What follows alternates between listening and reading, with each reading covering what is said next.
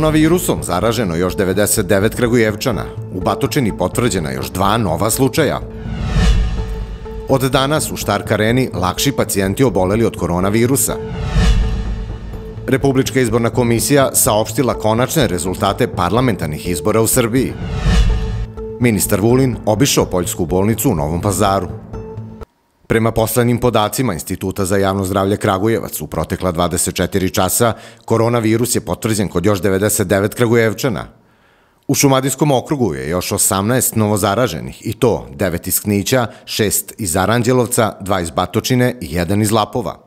Od početka epidemije do sada u Šumadijskom okrugu je obrađeno 10.416 uzoroka, a zaraženo je 698 osoba. Od tog broja 564 pacijenata iz Kragujevca, 45 iz Aranđelovca, 36 iz Knića, 22 iz Rače, 14 iz Topole, 13 iz Batočine i 4 iz Lapova. Ministar zdravlja u vladi Republike Srbije Zlatibor Lončar izjavio je da će privremena bolnica u Štark areni od danas primati prve pacijente, a u nju će biti prebačeni lakši pacijenti iz COVID bolnica dr. Dragiša Mišović, Zvezdara, Zemun, Bežanijska kosa i sa infektivne klinike Kliničkog centra Srbije.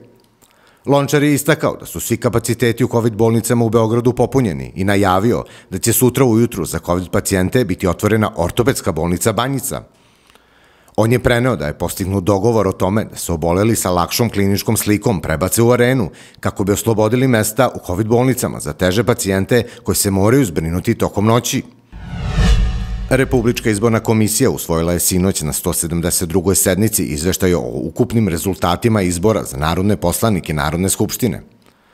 Izborna lista Aleksandar Vučić za našu decu osvojila je 60,65 od 100 broja birača koji su glasali, odnosno 188 mandata.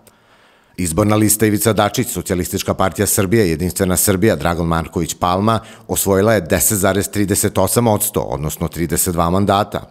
Izborna lista Aleksandar Šapić, Pobeda za Srbiju, osvojila je 3,38 od 100 glasova, odnosno 11 mandata. Izborna lista Savez Vojvođanskih Mađara Ištvan Pastor osvojila je 2,23 odsto, odnosno 9 mandata. Izborna lista Akademik Muamer Zukorlić, Samo pravo, Stranka pravde i pomirenja, Demokratska partija Makedonaca osvojila je 1 odsto, odnosno 4 mandata.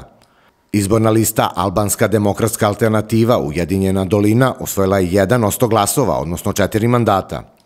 Izborna lista SDA Sanđaka, dr. Sulejman Ugljanin, osvojila je 0,77 od 100, odnosno 3 mandata. Pravo glasa na izborima održanim 21. juna i 1. jula imalo je 6 miliona 584 hiljada 376 upisanih u birački spisak, a svoje biračko pravo na 8.433 biračka mesta ostvarilo je 3 miliona 221 hiljadu 908 birača. Ministar odbrane Aleksandar Vulin obišao je danas Poljsku vojnu bolnicu u Novom pazaru.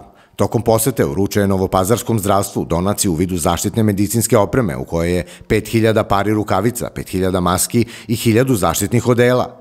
Posle obilaska Poljske vojne bolnice, ministar Vulin istakao je da je Vojska Srbija izvršila naređenje vrhovnog komandanta Vojske Srbije Aleksandra Vučića da je postavila Poljsku bolnicu i uradila apsolutno sve što je potrebno da bi se građani Novog pazara, Sjenice, Tutina i čitavog kraja osjećali sigurno i da bi dobili odgovarajuću zdravstvenu zaštitu. Vojska Srbije izvršila naređenje vrhovnog komandanta Vojske Srbije Aleksandra Vučića, postavila je Poljsku bolnicu i uradila apsolutno sve što je potrebno da bi se građani Novog pazara, Sjenice, Tutina, čitavog ovog kraja osjećali sigurno i da bi dobili odgovarajuću zdravstvenu zaštitu. U ovom trenutku ovde se nalazi 40 pripadnika e, Ministarstva odbrane, našeg vojnog saniteta. Oni su iz Novog Sada, Niša, Kragujevca, Beograda. Svi su visoko motivisani, svi daju sve od sebe i niko od njih ne razmišlja o tome kome daje pomoć, već samo da li je pomoć potrebna. Veoma sam zahvalan svim pripadnicima Novopazarske bolnice, pripadnicima Ministarstva zdravlja na ogromnoj podršci, na ogromnoj pomoći, zato što kao jedan tim, kao jedna duša možemo da pomognemo svim građanima Novog pazara, možemo da pomognemo u ostalom svim građanima Srbije. Mogu da razumem svaku kritiku, mogu da prihvatim da nešto treba bolje, da nečeg treba više, da nešto treba brže, ali apsolutno odbijam kao najgoru i najgnusniju laž da se o bilo kom građaninu Srbije različito vodi računa zbog njegove vere ili nacije. Svi ljudi koji žive u Srbiji zaslužuju podjednako pažnju, zaslužuju podjednako poštovanje. I dok Aleksandar Vučić vodi Republiku Srbiju, tako će i biti. Svi pripadnici Vojske Srbije su na raspolaganju svim građanima Srbije i kao što vidite, niko od njih nije oklevao da napusti svoju porodicu, da napusti svoj posao i da dođe tamo gde je najteže. Verujem da Srbija može da bude ponosna na sve pripadnike Ministarstva odbrane, da bude sigurna, da bude bezbedna, da zna da o njoj ima ko da brine. Vojska Srbije će nastaviti da vodi računa o svim građanima Novog pazara, dokle god e, nadležne lokalne vlasti smatraju da je to potrebno. Bićemo u Sjenici, bićemo u Tutinu, bićemo gde god nas pozovu, bićemo gde god je pomoć potrebna. Zato smo tu. Tokom jučerašnjeg dana je formirana i započela sa radom u punom kapacitetu privremena poljska bolnica, predviđena za smeštaj i lečenje srednje teško bolih COVID pacijenata kapacitet 98 kreveta, u ovom trenutku imamo 45 obolih, 8 na kiselničnoj terapiji. Uspostavljena je u potpunosti saradnja sa lokalnim strukturama, direktorom e, zdravstvenog centra Novi Pazar, lokalnom upravom, te saradnja sa e, logistički sa drugom brigadom Kopnene vojske Srbije. Ministar odbrane sasto se sa koordinatorom opšte bolnice Novi Pazar, doktorom Irsadom Đerlekom, koji je naglasio da je pre 10 dana u Novom Pazaru počeo nagli poraz zaraženih pacijenata virusom COVID-19. Prema njegovim rečima, u sanitetsku opremu i materijal, veoma je dragocena edukacija i prenošenje iskustava pripadnika vojnog zdravstva koji su angažovani u Poljskoj bolnici. Mi se prvi put susrećemo sa ovom uh, uh, ovakvom situacijom gde je masa ljudi odjednom došla da traži pomoć i trebalo je sad odgovoriti tome uh, zato što smo mi da kažem nespremni, nemamo iskustva zato što smo mi u onom prvom talasu ipak bili pošteđeni na neki način. Ono što je mogu da, da, da pohvalim jeste srećom smo imali e, dobru prognozu da će da se to desi. I onda e, znao sam da će se kapaciteti bolnice brzo popuniti, znao sam predsjednika države i vojnog ministra i tražio vojnu bolnicu.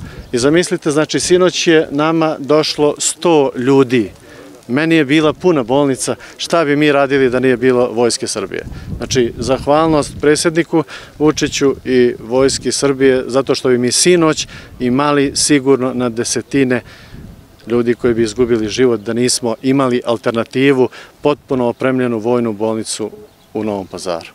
Pored svega e, opreme, pored e, svih tih sanitetskih stvari koje trebaju, e, edukacija i iskustvo ljudi sa VMA i svih e, VMC-a, e, jednostavno narod veruje vojnim lekarima.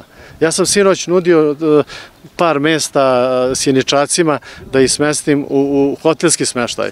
Rekli su, direktore, molim vas, idemo u šator, hoću da nas leče vojni lekari. To je ono što me je obradovalo, da narod veruje vojsci i da narod veruje ovoj državi.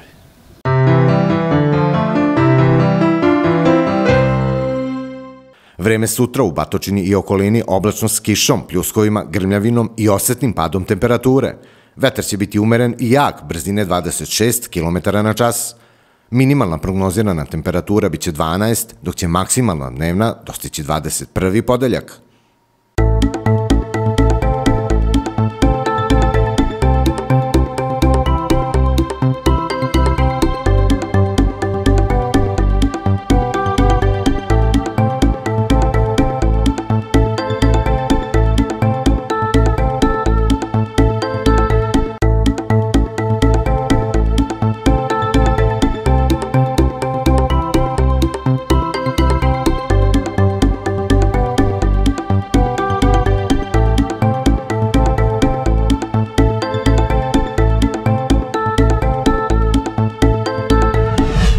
Koronavirusom zaraženo još 99 Kragujevčana, u Batočini potvrđena još dva nova slučaja.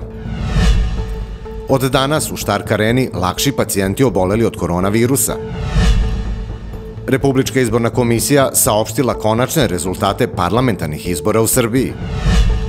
Ministar Vulin obišao Poljsku bolnicu u Novom pazaru.